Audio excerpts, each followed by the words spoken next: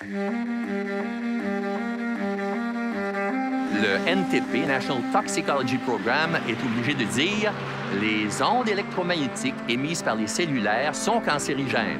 Tous les produits d'usage courant qui nous entourent, que ce soit les meubles, que ce soit les vêtements, que ce soit les produits de soins corporels, contiennent ces produits chimiques-là.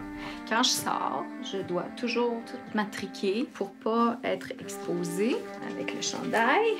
C'est avec des fils de métal? Oh, je me souviens d'un concert là, où j'étais très faible, j'étais amaigri, j'étais pâle et j'avais pas de tonus. Puis, à un moment donné, là, je me suis dit, ça vient du vernis. Je peux pas dormir euh, dans la maison encore parce qu'il y a trop de produits chimiques qui euh, sont encore en train de sortir les produits de construction de la maison.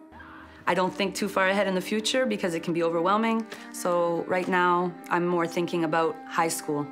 Where is he going to go for high school? Le vrai problème aujourd'hui pour ce qui est de l'électro-hypersensibilité, c'est l'influence des lobbies qui disent et colportent partout que rien n'est démontré. Il y a beaucoup de mobilisations qui sont contre le déploiement de la 5G. Il y a des scientifiques, il y a des médecins, il y a évidemment des, des personnes, des électros, des trucs comme ça. Tout le monde a peur. Vous avez 4,47 volts dans le corps en ce moment. Là, on parle des canaries dans les mines de charbon. Alors, les gens qui sont les hypersensibles sont les canaries dans notre société. Nous les ignorons à notre péril.